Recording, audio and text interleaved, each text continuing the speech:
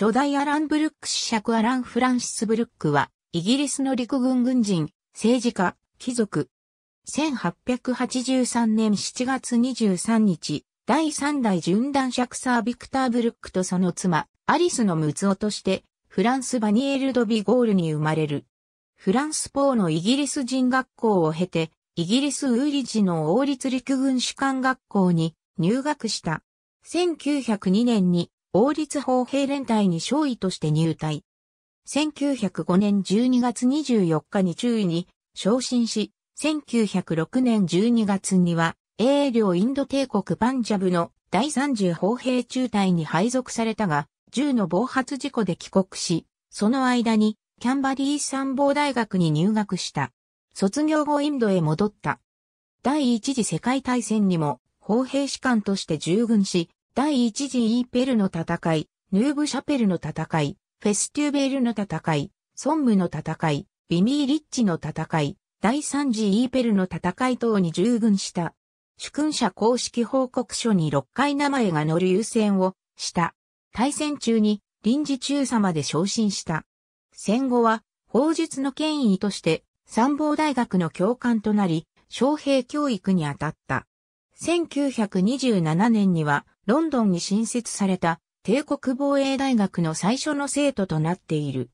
1928年には一時的な準将に昇進して王立砲兵学校の司令官となる。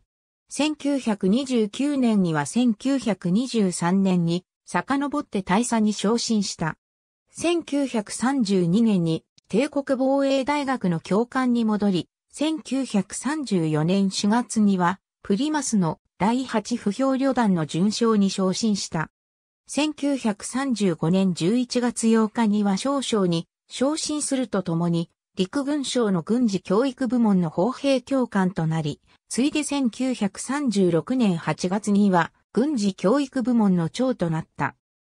1937年の終わりには自動車師団の指揮を取ったが、1938年6月27日には中将に昇進するとともに、防空軍団の司令官に就任し、ついで1939年3月には、防空司令部の総司令官に就任し、同年7月には南方司令部総司令官に就任した。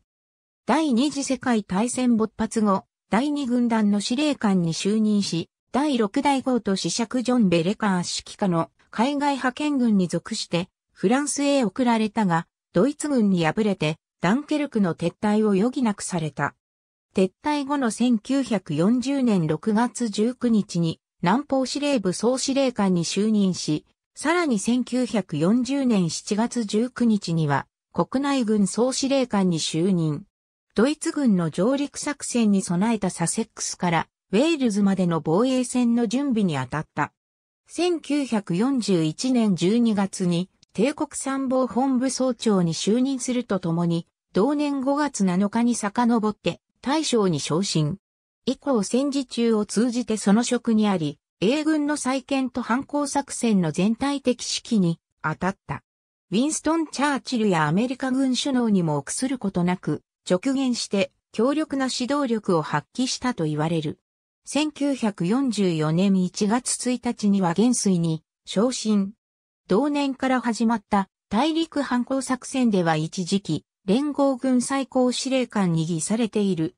戦後の1945年9月18日には、連合王国貴族爵位アランブルック男爵に除せられ、貴族院議員に列した。さらに1946年1月29日には、アランブルック子爵にも除せられた。同年6月25日に、帝国参謀本部総長を辞し、退役した。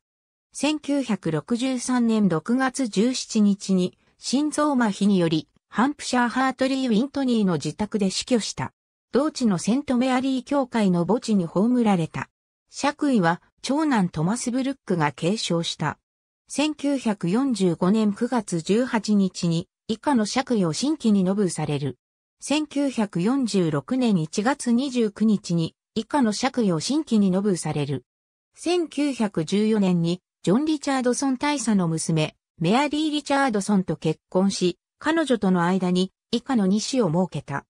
1925年にメアリーと死別し、1929年に第4代純男爵サーハロルド・ペリーの娘ベニタと結婚。彼女との間に以下の2子を設けた。ありがとうございます。